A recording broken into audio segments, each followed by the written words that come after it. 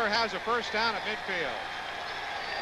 It's a big first down for Baylor that Anderson is hard to stop, especially when he gets high up in the air like that, gets that momentum going. It's very hard to turn him back. Four minutes and three seconds left to play in the third period.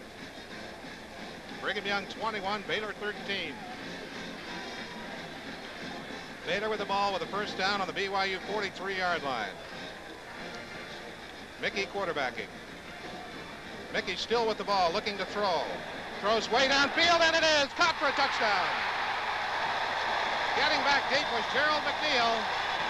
And so Baylor scores on a 43-yard pass play. That's that great speed that they've been talking about. McNeil just had him burned. He was deep, wide open. Great pass play for Baylor. And It is now Brigham Young 21, Baylor 19. Watch here, they fake the Rice in the middle. It holds off the defensive line. Now watch how wide open McNeil is. Great pass, right on the money. He had he had Morrell by about two steps. Good job.